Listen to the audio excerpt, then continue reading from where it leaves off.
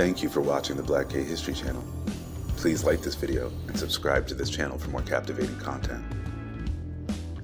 Billy Wright was a soul and blues singer who gained notoriety in the early 1950s for his R&B radio hits Blues for My Baby, You Satisfy, and Hey Little Girl.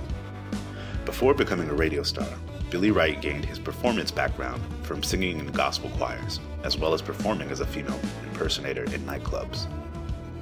Called the Prince of Blues throughout the 1950s, Billy Wright became a huge style and musical influence on the rock and roll legend Little Richard, inspiring the musician's big hairstyles and flashy fashion. Richard Wayne Penniman, aka Little Richard, was one of the most popular entertainers of the 1950s and will go on to earn the title of the Godfather of Rock and Roll for his pioneering and popularizing the genre. Using powerful, high pitched vocals and signature ad libs, Little Richard's big personality captured the hearts of America. His most iconic and popular song, Tutti Frutti, was rewritten to take out the X rated lyrics celebrating gay sex.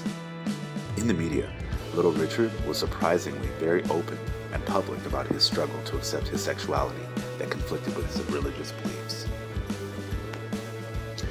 Esquerita, born S.Q. Reeder Jr., was a professional singer and pianist who worked with and influenced the early rock and roll stars of the 1950s, 60s, and 70s. Little Richard credited Reeder with teaching him to play the piano, and when Richard began to gain success performing professionally, Reeder pursued his own career in entertainment and took the stage name Esquerita. Both Little Richard and Esquerita hinted that there may have been a romantic as well as professional connection in their relationship, releasing several singles throughout his career like Rockin' the Joint and Hey Miss Lucy.